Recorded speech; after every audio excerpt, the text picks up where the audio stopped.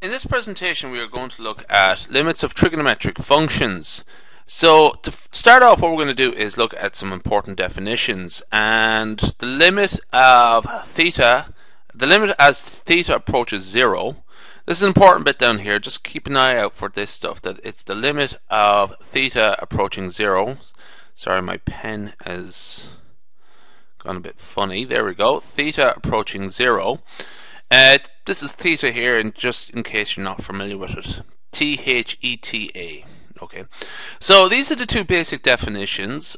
Um, theta over sine theta is one. The limit of uh, theta over sine theta as theta approaches zero is one.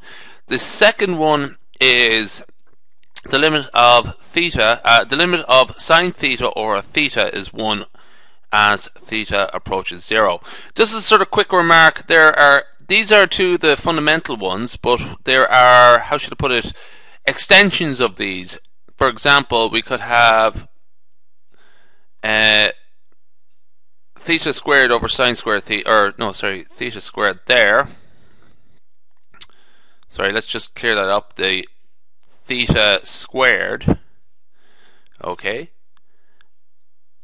that's an ext- that's a, an extension of that, and also we could have coefficients. For example, k sine of k theta over k theta, and by the way, vice versa, we could have k theta over sine k theta. That's also one. The limit of that is also one. So there's a couple of these extensions, but the basic two are the ones I had there previously, and we're going to sort of refer to them as much as possible. Um, there's also the fact that you can use tan with a couple of these definitions. So I'm just going to scroll down here now. So also the limit of tan theta over theta is equal to 1 and vice versa theta over the limit of theta over tan theta as well. Equivalently the limit of that. Okay, now, that those are extensions of the two basic ones. So what we're going to do here, first off, is define the limit. So to do a couple of exercises. Find the limit of sine theta, sine 5 theta over uh, theta as theta approaches 0. So what we're going to do is multiply above and below by 5. So extend that out, times 5 times 5. Okay. Uh, so we would have the limit as theta approaches 0 of 5 times sine 5 theta over 5 theta. Okay. And that is equal to 5 times the limit. We can take the 5 out essentially. As theta approaches 0 of sine theta 5 theta over 5 theta. So that was one of our extensions. Earlier on I said sine k theta over k theta. Theta is uh, 1. The limit of that is 1. So we have that reduces to 1. So we have 5 times 1. The answer there is 5. So that's the answer to the first one. Next one. Find the limit of sine 2 theta plus sine 4 theta over theta as theta approaches zero.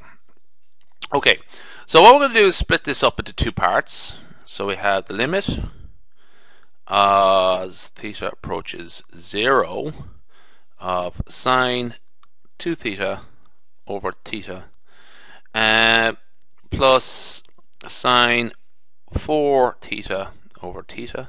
We can actually split that up into two separate limits. Okay, so what I'm going to do is we could we we could sort of write the expression as follows. I'm actually after taking something out there.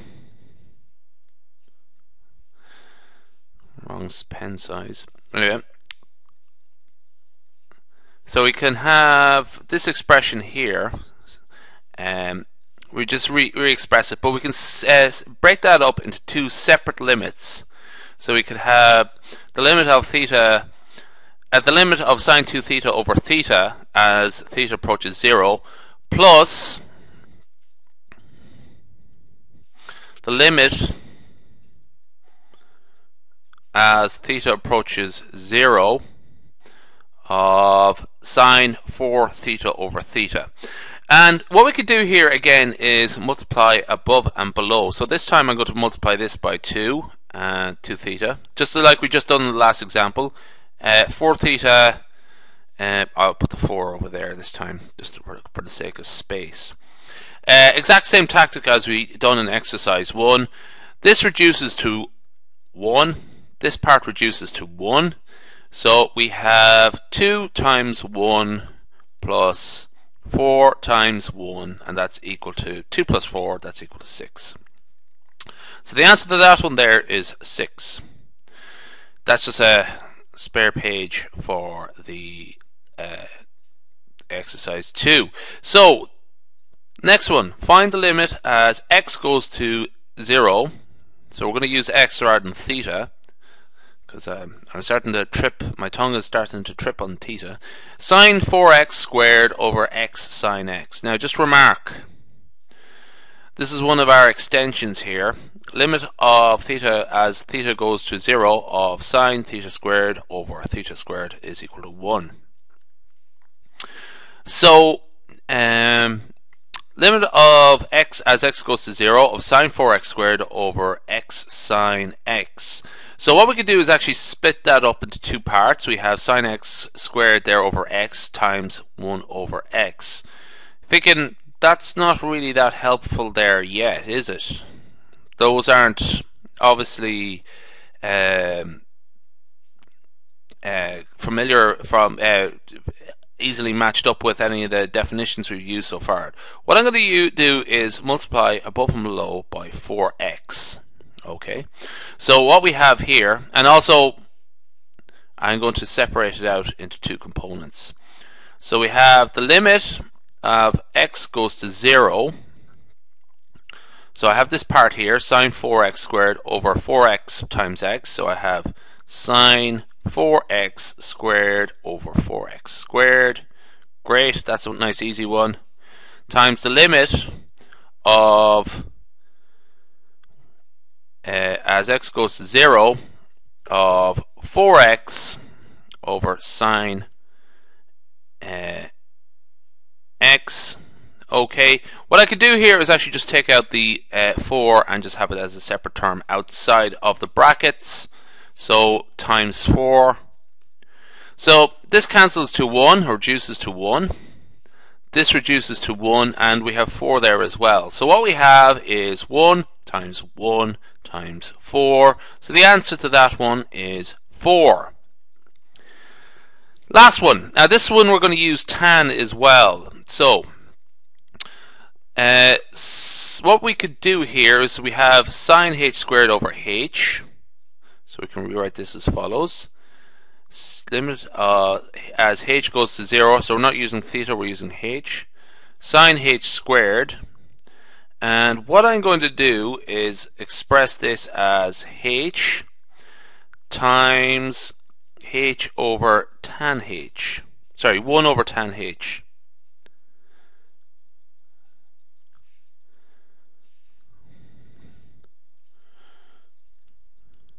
Okay. Again, what can we do here? What we could do here is multiply above and below by h. So add the h here and the h here. Okay, so what we have now is let's just let me oops let me so we have h squared over h okay and so that is 1 times 1 the limit you can treat the limit separately of the two terms separately so we have sine h squared over h times h over tan h. Uh, oh, no, sorry, that's not what I meant to do. Essentially, it's 1 and 1. So this is the limit of that part and the limit of the other part. So it's the limit of that times the limit of that. It is 1 times 1. So the answer there is simply 1 is 1 times 1. The answer there is 1. Alright, that's enough of that. Uh, we'll leave it there. How are we doing the time? 10 minutes.